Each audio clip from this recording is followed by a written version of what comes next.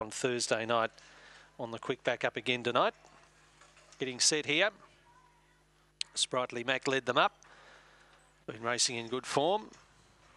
And uh, these last few are locked away. Green light on here, set to go. Final leg of the quaddy. Ready for race eight. Set. And away they go. Sprightly Mac box nicely the inside. She's gifted going away fast. It gets across to lead, across to second. Velocity Anifrid. Sprightly Mac just shuffled back. Ish My Girl, it's outside. Then Splinter followed by Go 22. That pair bumped. Second last uh, there was Sapphire Power. It bumped uh, with the other one, sorry. And out to last was Silvio Dante. But away goes She's Gifted. Put the foot down. Race six in front. Uh, Ish My Girl and Velocity Anifrid battling out the minors from Sprightly Mac. But She's Gifted. Eyes on the clock.